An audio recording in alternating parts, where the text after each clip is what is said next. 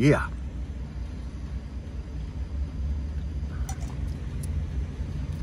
Oh, that's nice. It's nice, guys. So what's going on, everybody? Mm. It is July the 5th. Hot this morning. Yesterday it was kind of cool, but it rained all day. Had my little canopy up over the blazer. That helped.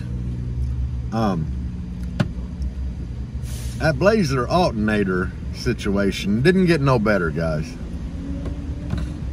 The uh, alternator from Autotech, it's internally regulated. I need externally regulated.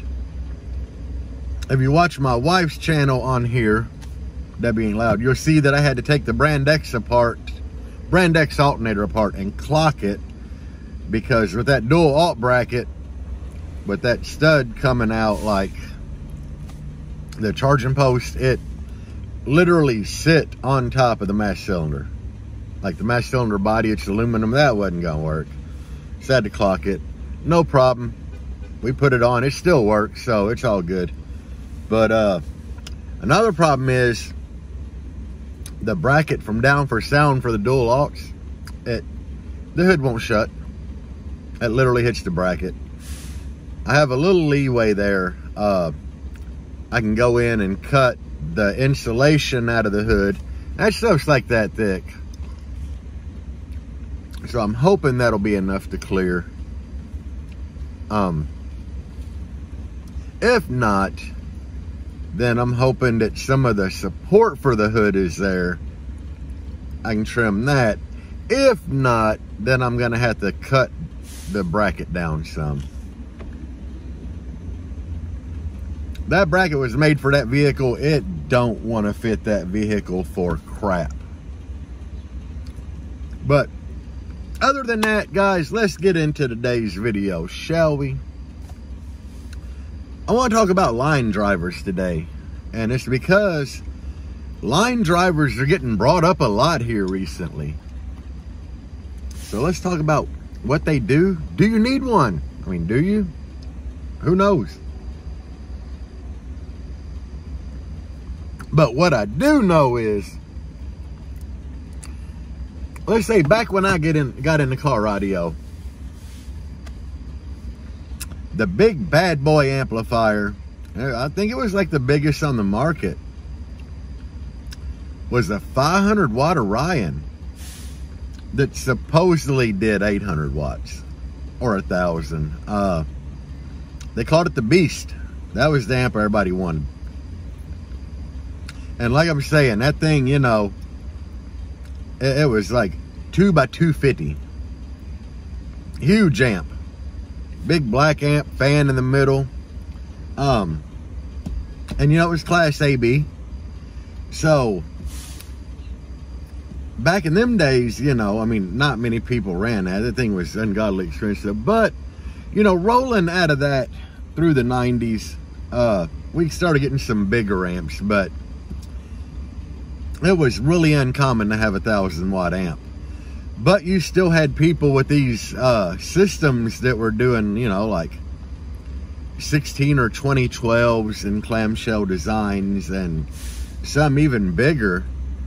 And what they wound up doing is uh, you would have so many amplifiers, and they were small amplifiers that, you know, if they tried to run one amp per pair of subs, you're still going to wind up with like eight or 10 amps.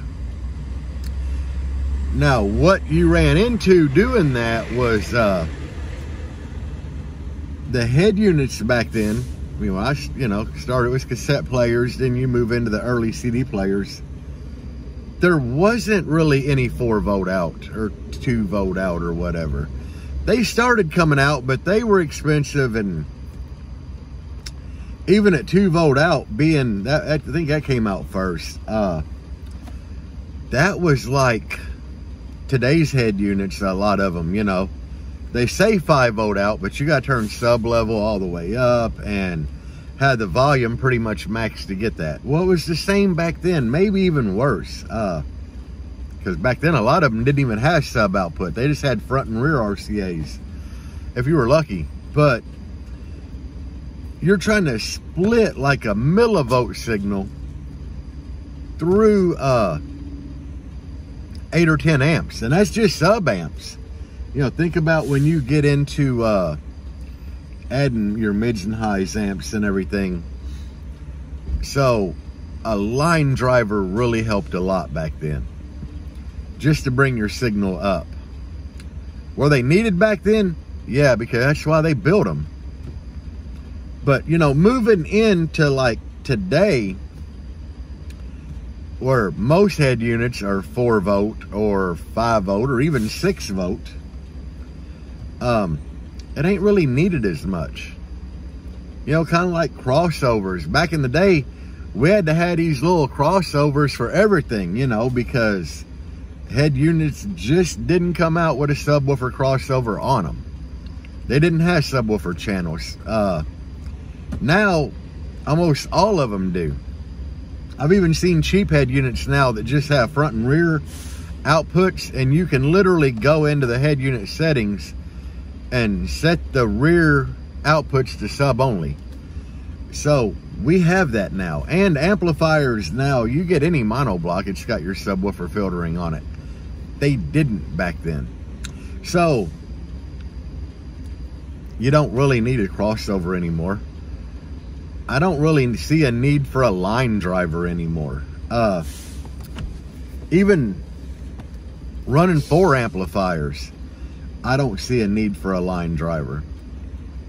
Why? Because most head units have four to five volt output and your gain is literally there to match your R RCA signal.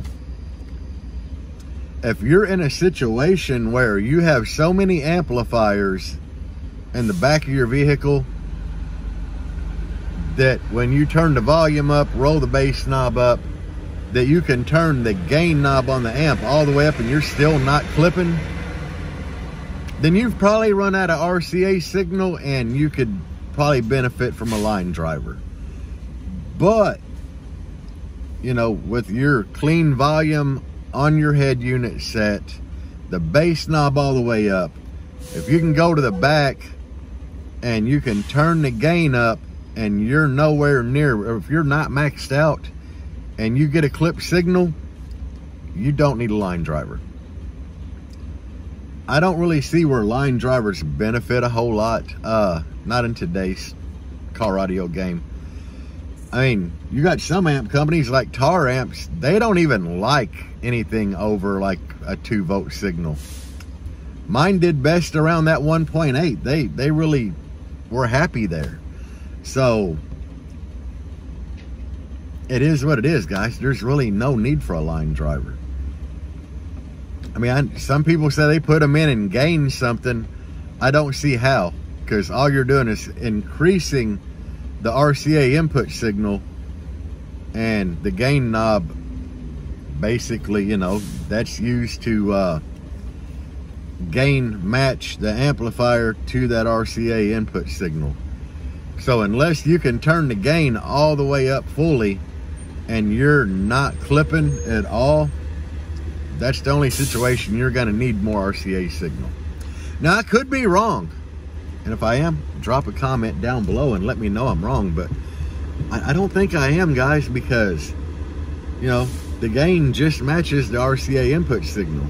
And if you have enough signal that you can get the amp to clip without being all the way up, I don't I don't see it.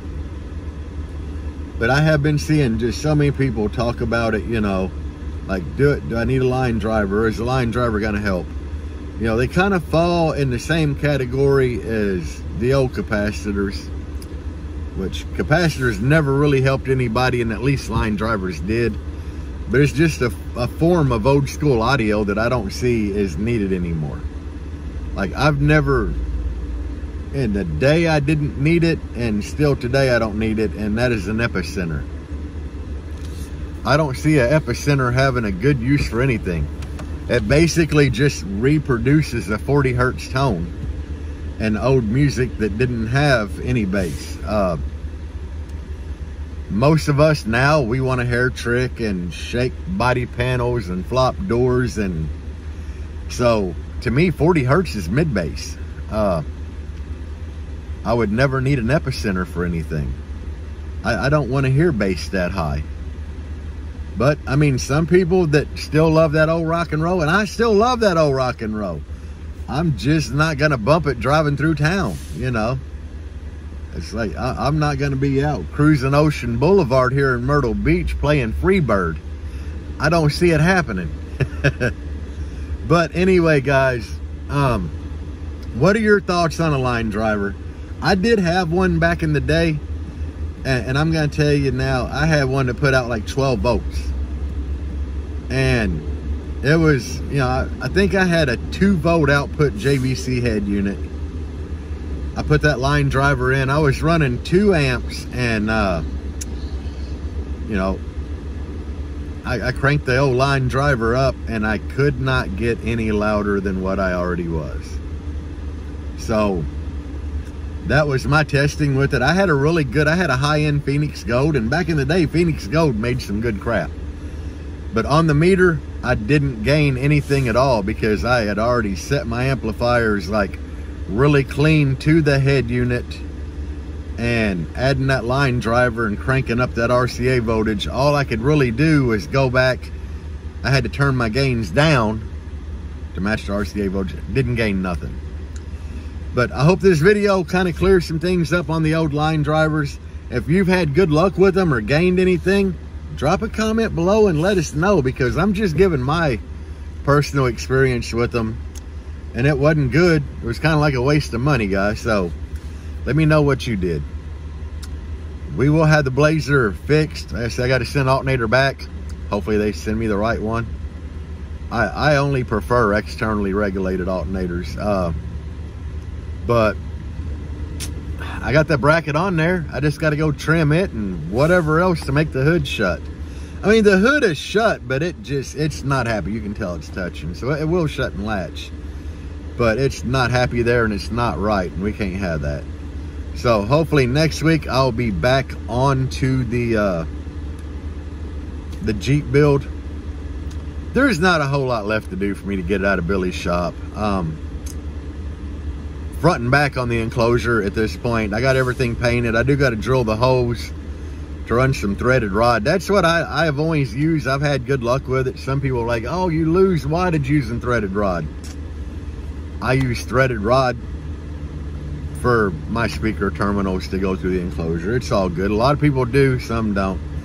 But I got to get them hose drilled, get the threaded rod ran through there, and after that, um, I'm just gonna start putting the back on, the front on, cut my front port, get that on, and I'm gonna take that thing home and start putting equipment in it and building doors. But thank y'all for watching my videos. I love the comments from people. It's like, I've been waiting on a video to drop. Sometimes it's rough through the week because I don't have a good subject. Um, or I'll have a good subject and then I'll be on my way to film and I'll forget what the hell it was. Today I remembered line drivers. But anyway, thank you guys for watching. I appreciate it. Thank you for the people that subscribe to the YouTube members and Patreon. I'm gonna update that. Hopefully I'll have that updated list out with your names on it before this video. So I'm gonna try to go to work and get that done. But peace out guys, and as always, bass on. Feel low, you can still go. Even when you feel slow, you can still go. Even when there's no hope, you can still go. I never answer to no, man, I still go. Go, go